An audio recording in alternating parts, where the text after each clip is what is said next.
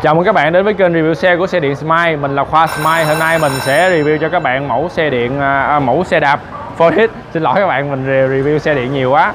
Đây là cái mẫu xe đạp Phoenix FR100 Thì mình cũng sẽ như những cái dòng xe khác Mình sẽ nói qua những điểm mà mình cảm thấy thích thú trên cái dòng xe này. Thứ nhất là về đây. À, xe được trang bị là à, bộ cùi đề là Shimano Tunai dĩa rồ quay nếu như các bạn chơi xe nhiều các bạn sẽ biết được cái dòng xe rồ quay là một cái dòng mà khiến cho khiến cho các bạn khiến cho rất là nhiều người mà họ thích cái thương hiệu này. Đây bên đây là sen dĩa cũng là sen dĩa rồ quay đây.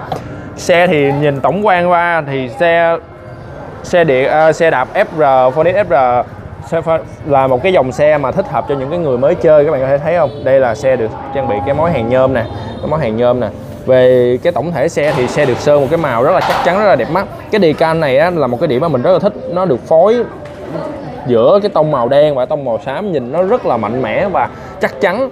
Đối với những cái dòng xe đạp Phoenix như thế này á, thì dây được âm sườn là luôn luôn được trang bị trên những dòng xe này mình thích những cái dòng xe âm sườn ở chỗ á, khi mà bạn cầm nắm á, nó không có bị vướng những cái dây. Bởi vì dây nó là âm nằm âm sườn rồi.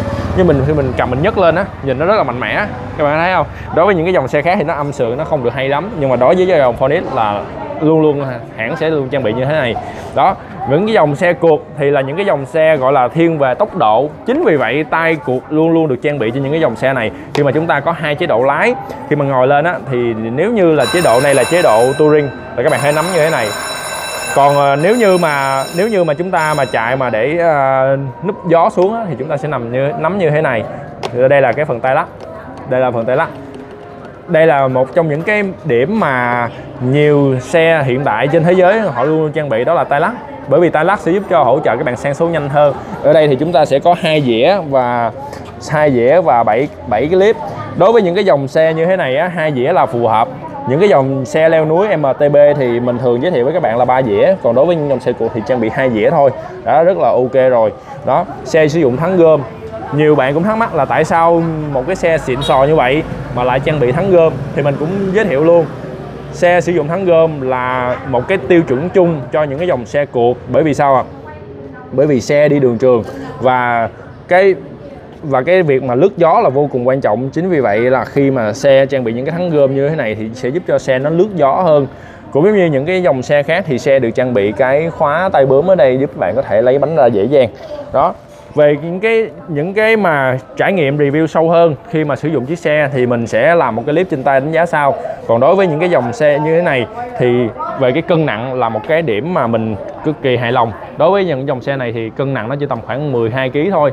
Và đối với những cái dòng xe cuộc 12 kg là một cái mức cho phép khiến cho bạn có thể thoải mái được sử dụng đối với cái dòng xe này. Đó là những cái điểm mình vừa điểm sơ qua, những cái điểm mà mình hài lòng.